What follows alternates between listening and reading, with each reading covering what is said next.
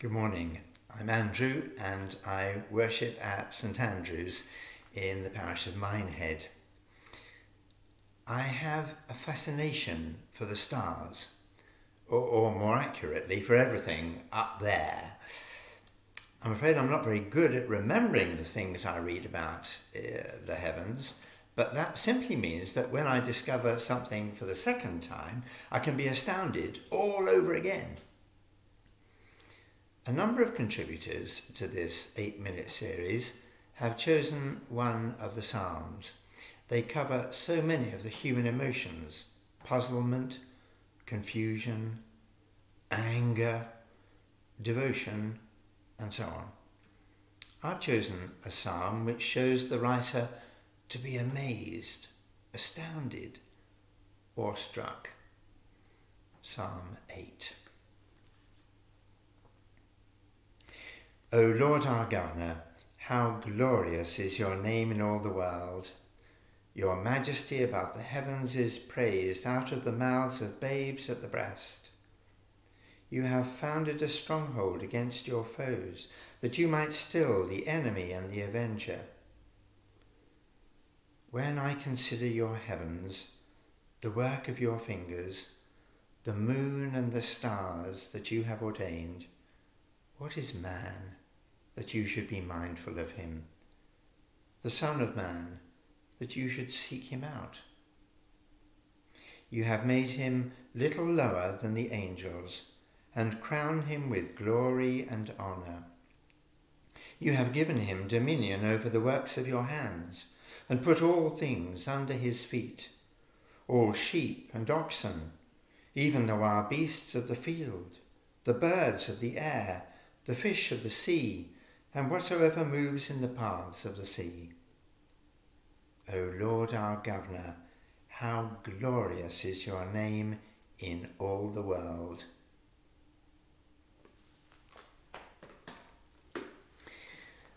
The psalmist's understanding of the stars, of course, was very limited, and yet the sight of the night sky moved him or her to awe-struck wonder. How much more can this be true for us? We now have an understanding of the scale of the observable universe, and greater still, the parts of the universe we can't see. But just to look and be able to identify the planets moving in regular orbits round our sky is wonderful. Right now, it's possible to see around bedtime with the naked eye Mars, Jupiter, and Saturn. And there's a certain amount of excitement at these last two giants in close conjunction as we approach Christmas. Or how wonderful to see the Andromeda Galaxy, also with the naked eye. It consists of around one million million stars. It's so far away that the light takes two and a half million years to get here. We're seeing the Andromeda Galaxy as it was two and a half million years ago. And what was happening on Earth at that time, I wonder?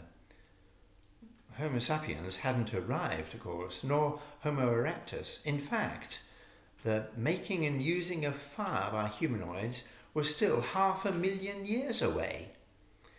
That's what we're looking at when we see the Andromeda Galaxy. A local galaxy. Life as it was two and a half million years ago.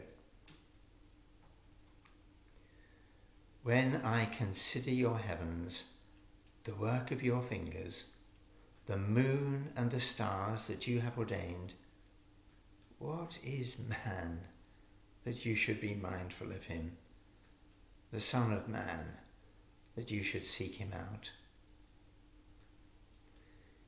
It's the natural reaction for human beings when confronted by the scale of the universe to be overwhelmed by our total insignificance in the created order. Surely this must be even more true for us when we speak of the Andromeda galaxy, two and a half million light years away, as a member of our local group. What is man? But the psalmist does not stop there. He reminds himself that God is not just a God of the infinite, but of the intimate. Speaking of mankind, he reflects, You have made him little lower than the angels, and crown him with glory and honour. You have given him dominion over the works of your hands, and put all things under his feet. God has done these things. This psalm restores to us a proper perspective of the created order so that we may have a proper appreciation of the Creator Himself. As we approach Christmas, we gaze in awe at Jesus, the agent of creation the creator of the stars and planets, the galaxies, and all the matters, matter we can't even see, born as a baby in a stable and lying in a manger. So, are we insignificant?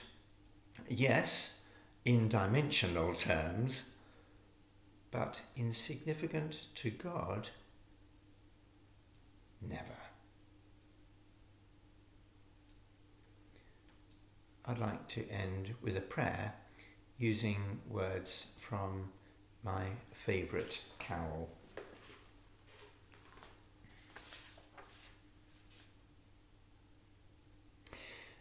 Thou who art God, beyond all praising, all for love's sake becamest man, stooping so low, yet sinners raising heavenward by thine eternal plan.